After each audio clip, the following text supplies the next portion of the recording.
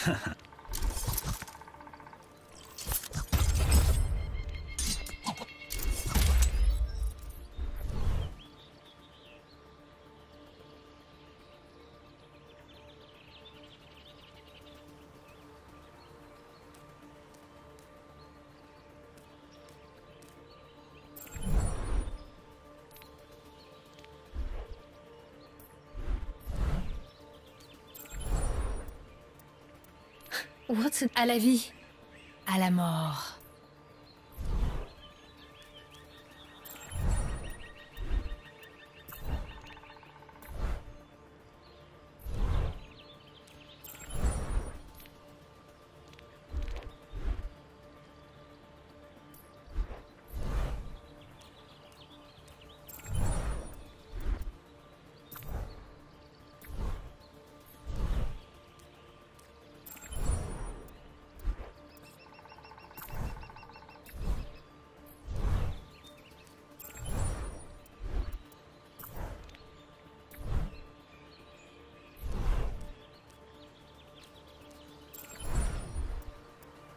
Measure toi, い